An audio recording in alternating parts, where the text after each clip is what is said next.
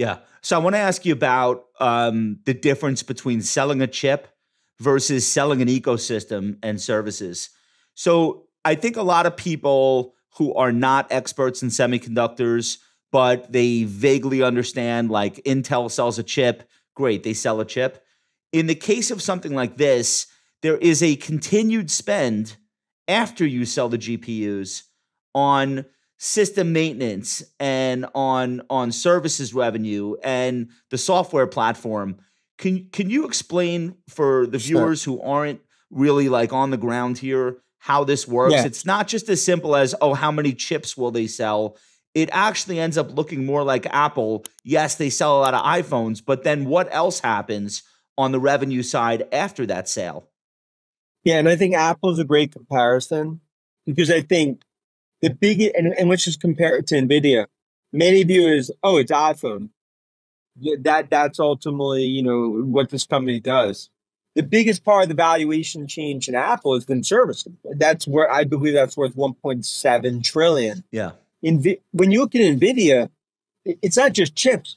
When you look at the overall platform and architecture, this is essentially companies that like, okay, we're going to buy the drink. We're gonna buy the we're gonna buy the meal here, but now we're gonna have to pay them an incremental 30, 35% every year, essentially in perpetuity on services as well as on infrastructure and on software. Right. That's the difference. Yeah. So so when you think about it, see like Intel, the reason Intel, if you looked up disaster in the dictionary, you know, you'd see their ticker, is because they never understood whether it's the bureaucracy, they've lost the talent, you know, whatever it may be. Jensen always understood the prize was not just about coming up with the chips and the GPUs. It was about the overall architecture. And that's why like, when you look at what they've done, they've essentially they've essentially courted it. In other words, this should almost be like going to a baseball game and any meal you buy, any drink you buy, goes to the same vendor. Right. Eventually. Right. That's kind of what they've done from an AI perspective. But now who builds on top of it? It, uh, it get built on a hyperscaler, Microsoft, Amazon, Google, the apps, ServiceNow, Salesforce, Workday, Palantir, that species second, third, fourth derivative all being built on top of what, what Jensen. There's a switching done. cost too. If you if you have built your AI services beco- on on NVIDIA architecture, um, it's not as simple as AMD has a 20% cheaper chip. We'll just start swapping them in. I don't think it works that way. Am I right?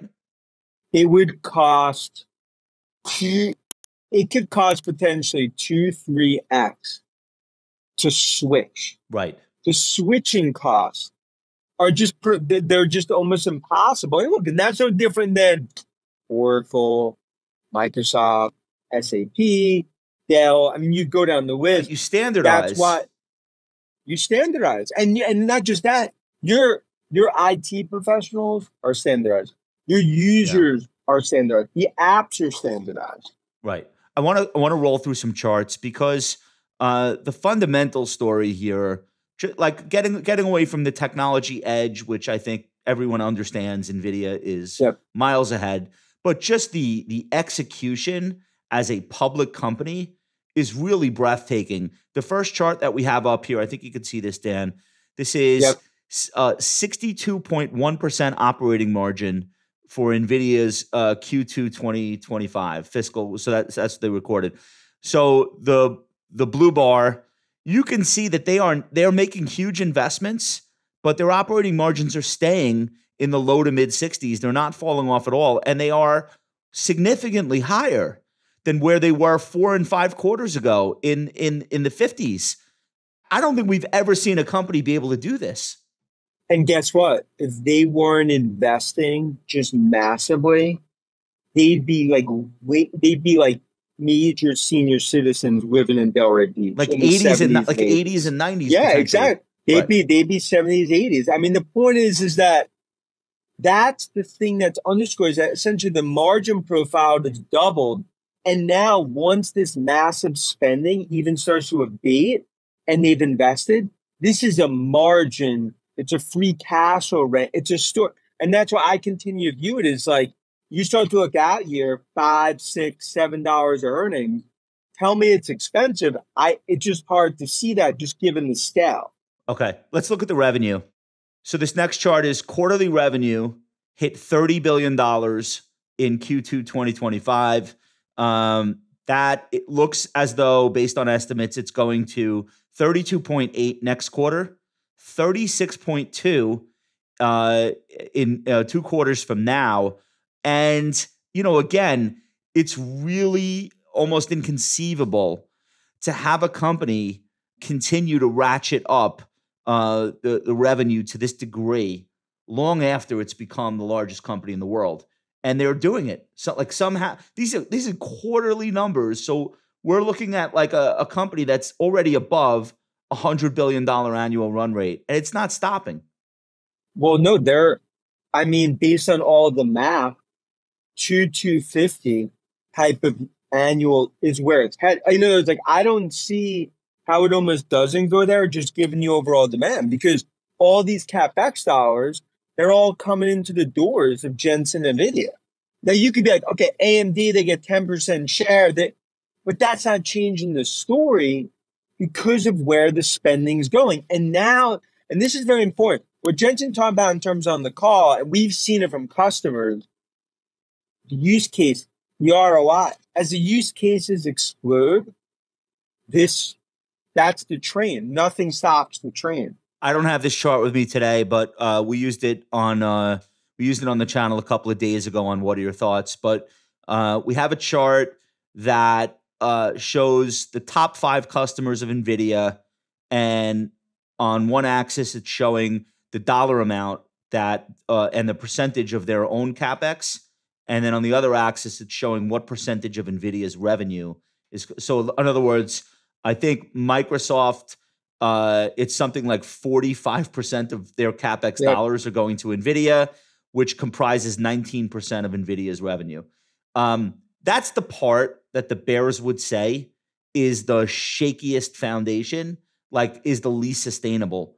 But you don't agree with that. Make us feel better about that level of concentration. Um, maybe it's an end user story and the hyperscalers an, are just in the middle.